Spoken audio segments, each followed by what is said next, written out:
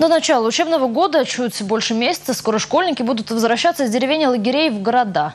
О том, как вести себя рядом с проезжей частью и переходить дорогу, сегодня напомнили детям в лагере «Волна». Причем не в формате скучных лекций. Подробнее в репортаже.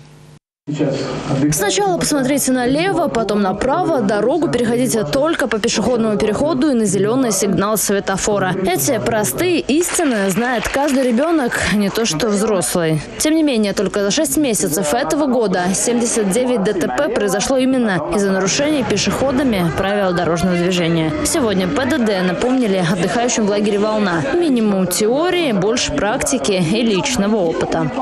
Выезжая на велосипеде, неплохо было бы иметь хотя бы какой-то шлем. Сейчас шлема продаются в магазинах. То есть это шлем и наколенники.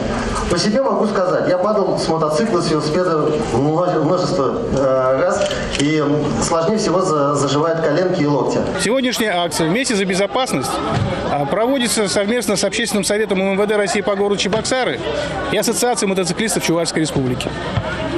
Это не разовые мероприятия. На протяжении летнего периода выезжаем в детские оздоровительные лагеря, основной целью которой является доведение до детей основ безопасного поведения на дорогах. Куда веселее вспоминать, по какой стороне дороги должен двигаться велосипедист и другие правила, если это соревнования с призами.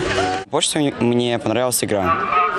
А, совет, молодежный совет а, задал нам вопросы касательно города Чебоксары и а, других городов. Мы отвечали на них, это было весело. Особенно мне понравились призы, которые нам дали за, за первое место. Какие же призы это Это была упаковка круассанов и, это, и бутылка колы. А для организаторов акции главным призом были бы сводки ГИБДД, где не фигурируют несовершеннолетние.